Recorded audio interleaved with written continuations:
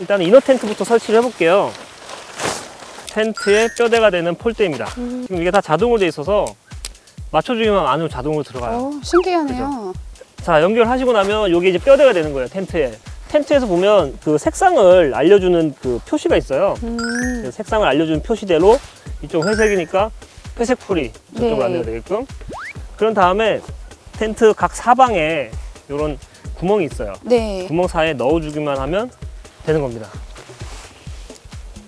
각 그 텐트를 가지고 백패킹해서 사용하시기 전에 꼭 한번 집에서 음, 설치를 해보셔야 당황하지 않습니다.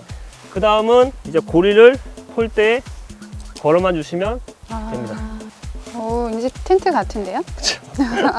자 이렇게 하면 네. 텐트의 이너 텐트가 완성이 된 거예요.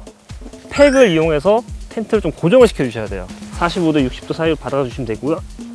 손으로 넣기 힘드시면 발로 이런 식으로 살짝 밟아 주셔도 되거든요.